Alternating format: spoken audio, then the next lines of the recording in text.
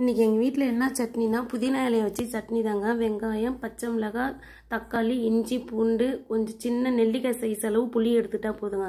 வானலில் எண்ணெய் ஊற்றி ஃபஸ்ட்டு பச்சை மிளகாய் போட்டு நல்லா வதக்கிடுங்க.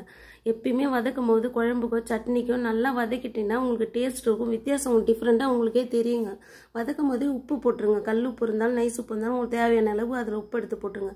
எப்பவுமே தக்காளி பழத்தை லாஸ்ட்டாக வதக்கினா போதுங்க. ஃபஸ்ட்லேயே போட தேவையில்லைங்க. லைட்டாக போட்டால் போதும். என்கிட்ட பெருங்காயத்தூள் இருக்குங்க. அதை நான் போட்டுட்டு உங்கள்கிட்ட கட்டி பெருங்காயம் தான் எண்ணெயிலே போட்டு நீங்கள் வதக்கி எடுத்துருங்க.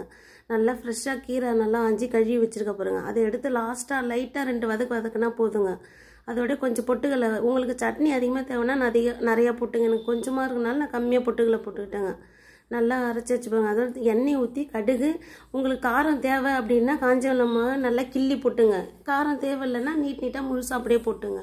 நல்லா பொரிஞ்சிருச்சு பாருங்கள் அதை எடுத்து சட்னி எடுத்து ஊற்றி வச்சுங்க இதான் இன்றைக்கி எங்கள் வீட்டில் காலம்புற இட்லிக்கு தொட்டுக்கதை பாருங்கள் டேஸ்ட்டாக